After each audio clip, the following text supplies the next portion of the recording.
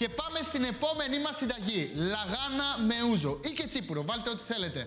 Δεν υπάρχει κάτι πιο φανταστικό από το να βάζεις τη λαγάνα μέσα από το φούρνο, να την κόβεις και να τη δοκιμάζεις. Έτσι όπως είναι ζεστή και αχνηστή. Σήμερα θα σα δώσω την καλύτερη συνταγή που μπορείτε να φτιάξετε, οπότε πάμε να δούμε την κάρτα με τελικά.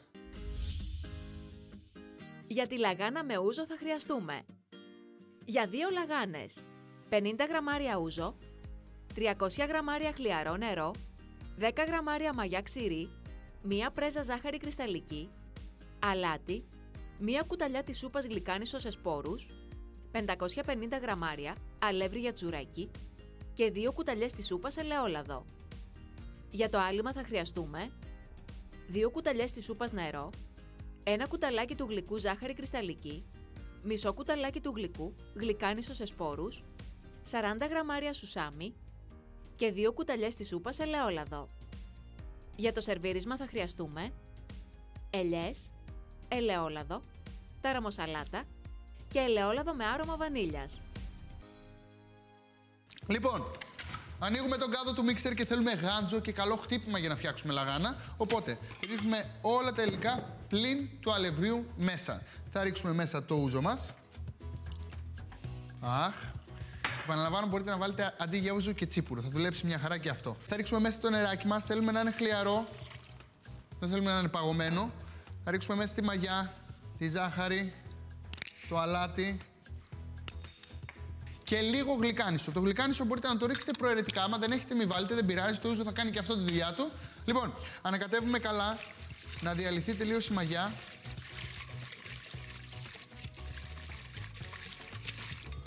Και σε αυτή τη συνταγή δουλεύει καλύτερα το αλεύρι για τσουρέκι. Το αλεύρι για τσουρέκι να ξέρετε ότι έχει έξτρα γλουτένι μέσα, οπότε μας κάνει πάρα πολύ για αυτή τη συνταγή. Μπορείτε να βάλετε και αλεύρι σκληρό που μας κάνει μια χαρά. Τώρα, όπως είναι, καλύπτω από πάνω με το αλεύρι. Κοιτάξτε πώς το κάνω και αφήνετε 15 με 20 λεπτάκια στην άκρη. Να ξέρετε ότι είναι πάρα πολύ καλό να δουλέψει το αλεύρι με αυτόν τον τρόπο μαζί με τη μαγιά από κάτω, ζεσταίνετε το μείγμα και ουσιαστικά θα γίνει καλύτερη λαγάνα σας. Άμα δεν έχετε χρόνο, βάλτε κατευθείαν πάνω στο γάτζο και χτυπήστε. Αλλά άμα αφήσετε 15 με 20 λεπτάκια, σας το με το αποτέλεσμα θα βγει ακόμα καλύτερο. Τώρα, κλείνουμε το κάτω του μιξέρ, προσθέτουμε δύο κουταλιές της σούπας ελαιόλαδο και χτυπάμε πολύ καλά για τουλάχιστον 8 με 10 λεπτάκια.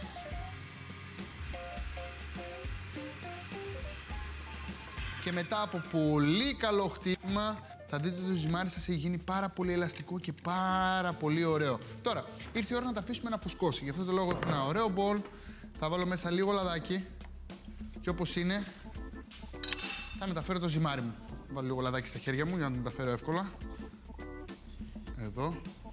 Τώρα, θέλω μεμβράνη να καλύψω καλά τον μπολ μου.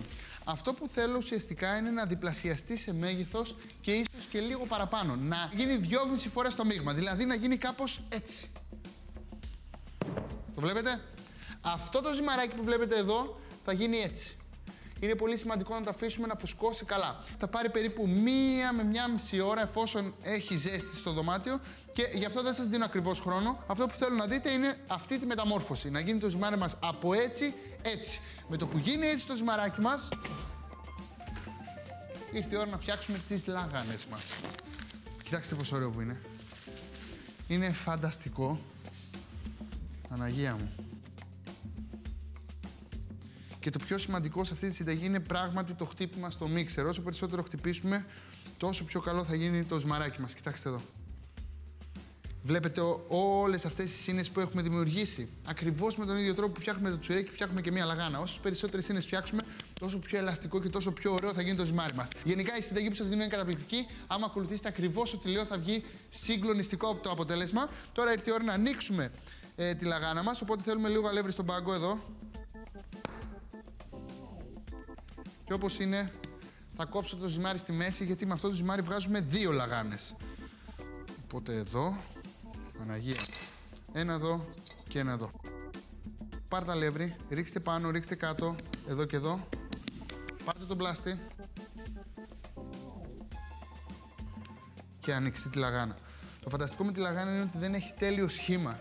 Και αυτό είναι που μας αρέσει. Είναι πάρα πολύ ρουστικ Και όσο πιο ρουστίκ τη βγάλετε, κατά πάσα πιθανότητα τόσο πιο ωραία θα βγει. Οπότε ανοίξτε λίγο με τον πλάστη, εδώ, να σας βοηθήσει λίγο να το ανοίξετε το ζυμάρι σας. Πάρτε δύο ταψάκια, βάλτε τα μπροστά σας. Προσθέστε στο ταψάκι λίγο ελαιόλαδο. Εδώ. Και εδώ.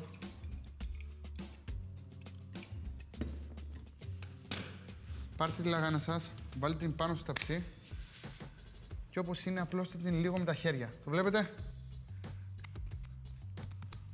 Να μοιάζει με λαγάνα και η πρώτη λαγάνα πάει στην άκρη. Πάμε τώρα για τη δεύτερη. Ακριβώς με τον ίδιο τρόπο.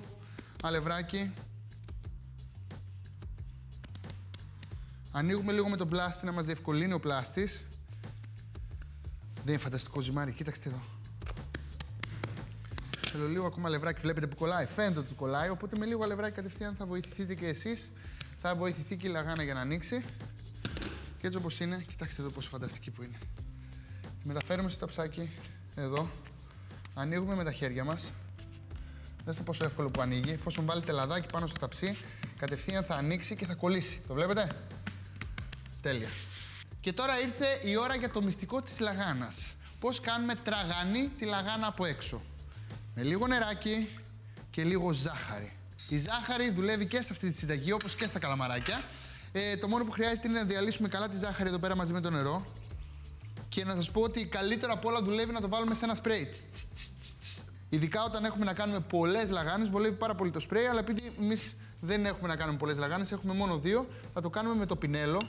Οπότε πάρτε το πινέλο, αλείψτε από πάνω με το ζαχαρόνερο και ουσιαστικά το ζαχαρόνερο θα κάνει πάρα πολύ τραγανή και ωραία τη λαγάνα μας. Μην το λυπηθείτε. Σας δίνω ακριβώς όσο πρέπει να βάλετε στη συνταγή. Εδώ. Θα βάλω και στη δίπλα. Και κοιτάξτε εδώ, άλυψα καλά με νεράκι. Τώρα από πάνω μπορούμε να ρίξουμε ό,τι toppings θέλουμε για τη λαγάνα μας. Συνήθως ρίχνουμε σουσάμι. Εγώ θα ρίξω και λίγο γλυκάνισο που ούτως αλλιώς έχουμε βάλει μέσα. Και βέβαια αρκετό σουσάμι, δεν θα το λυπηθούμε. Όσο περισσότερο σουσάμι βάλουμε στη λαγάνα, τόσο πιο νόστιμη γίνεται. Παναγία μου. Μην το λυπηθείτε. Ρίξτε σου σαμάκι. Τέλεια. Και τώρα, πρέπει να αφήσουμε τις λαγάνες μας να φουσκώσουν. Θα πάρετε πετσετούλες, θα βάλετε από πάνω και θα τις αφήσετε στην άκρη περίπου 20-25 λεπτάκια μέχρι που να διπλασιαστούν σε μέγεθος πάλι. Τώρα δεν θέλουμε περισσότερη ώρα από 20-25 λεπτάκια και θέλουμε να γίνουν κάπως έτσι. Ένα, δύο. Καλά, είναι φανταστικό που έχω ετοιμάσει όλα τα στάδια, αλλά ουσιαστικά θέλω να σας δείξω πραγματικά πώς πρέπει να τις φτιάξετε για να γίνουν τέλειες. Τώρα, ο φούρνος μας είναι προθερμασμένος στους 220 βαθμούς. Είναι απαραίτητο να είναι προθερμασμένος και πάρτε τα δάχτυλά σας και καθώς έχει φουσκώσει η λαγάνα, κάντε τρύπες μέσα στη λαγάνα. Εδώ. Το βλέπετε; Γίνεται τόσο απλά, τόσο εύκολα. Να σας πω ότι κανονικά στη λαγάνα δεν βάζουν ελαιόλαδο από πάνω, αλλά εμένα μου αρέσει πάρα μα πάρα πολύ να ρίχνουν λίγο ελαιόλαδο. Λίγο. Κοιτάξτε, ίσα ίσα για το άρωμα. Άμα θέλετε κι εσείς δοκιμάσετε το πρώτο χωρίς ελαιόλαδο, αυτή είναι η δικιά μου ε, εκδοχή, αλλά μου αρέσει πάρα πολύ. Καλό θα ήταν βέβαια να ψήσετε και μία-μία, αλλά καταλαβαίνω ότι κανείς δεν έχει την δυνατότητα να ψήνει μία-μία τις λαγάνες, οπότε 220 βαθμούς βάζουμε μέσα και ψήνουμε περίπου 15 με 20 λεπτάκια. Στην πορεία αλλάζουμε, βάζουμε το πάνω, κάτω για να ψηθούν ομοιόμορφα. Οπότε σε 15-20 λεπτάκια θα βγουν έτοιμε ζεστές και θα δοκιμάσουμε. Η λαγάνα είναι ιδιαίτερο είδος επίπεδου ψωμιού, το οποίο παρασκευάζεται παραδοσιακά την καθαρά Δευτέρα και γίνεται χωρίς προζύμι. Δεν περιέχει βούτυρο ή γάλα, ενώ κάποιοι αντικαθιστούν το ελαιόλαδο με το ταχίνι.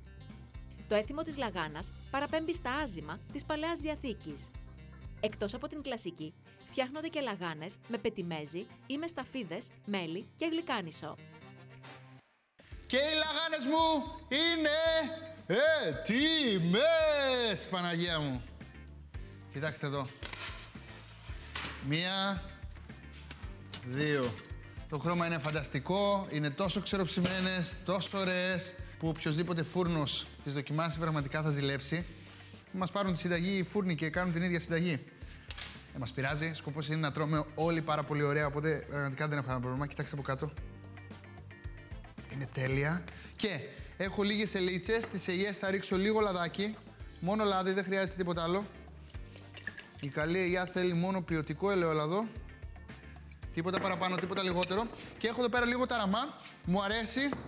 Μπορείτε να το δοκιμάσετε, μπορείτε να μην το δοκιμάσετε. Έχω λίγο λάδι βανίλιας. Ελαιόλαδο με βανίλια μέσα. Μου αρέσει πάρα πολύ η βανίλια με τον ταραμά. Του δίνει ιδιαίτερη γεύση. Δεν είναι κάτι δύσκολο. Βάζουμε μέσα στο λάδι μας ε, λίγο βανίλια και αφήνουμε να ε, εμπλουτίσει με γεύση το ελαιόλαδο. Έχει πάρα πολύ ελαφριά γεύση βανίλιας και ουσιαστικά το κάνει 10 ε, φορές πιο ιδιαίτερο. Για τη λαγάνα με ούζο. Βάζουμε στον κάδο του μίξερ το ούζο, το νερό, τη μαγιά, τη ζάχαρη, το αλάτι, τον γλυκάνισο και ανακατεύουμε με ένα σύρμα χειρός. Προσθέτουμε το αλεύρι και αφήνουμε για 15 με 20 λεπτά να ενεργοποιηθεί η μαγιά. Προσθέτουμε το ελαιόλαδο και χτυπάμε στο μίξερ για 8 με 10 λεπτά μέχρι να γίνει η ζύμη. Έπειτα τη βάζουμε σε ένα λαδωμένο μπολ, την καλύπτουμε με διάφανη μεμβράνη και την αφήνουμε για μία με μία μισή ώρα να φουσκώσει. Στη συνέχεια, ρίχνουμε αλεύρι στον πάγκο και χωρίζουμε τη ζύμη σε δύο ίσια κομμάτια.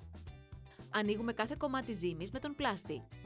Μεταφέρουμε τις ζύμες σε δύο λαδωμένα ταψιά και τις ανοίγουμε με τα χέρια μέχρι να πάρουν το σχήμα της λαγάνας. Διαλύουμε σε ένα μπολ το νερό με τη ζάχαρη. Αλήφουμε με το ζαχαρόνερο τις δύο λαγάνες από πάνω για να γίνουν τραγανές και απασπαλίζουμε με τον γλυκάνισο και το σουσάμι. Τις καλύπτουμε με πετσέτες και τις αφήνουμε για 20 με 25 λεπτά να φουσκώσουν. Έπειτα πιέζουμε με τα δάχτυλα για να κάνουμε βαθουλώματα στην επιφάνειά τους. Ρίχνουμε λίγο ελαιόλαδο και τις ψήνουμε σε προθερμασμένο φούρνο στους 220 βαθμούς για 15 με 20 λεπτά. Για να ψηθούν ομοιόμορφα, αντιστρέφουμε τα ταψιά στη μέση του χρόνου ψησίματος.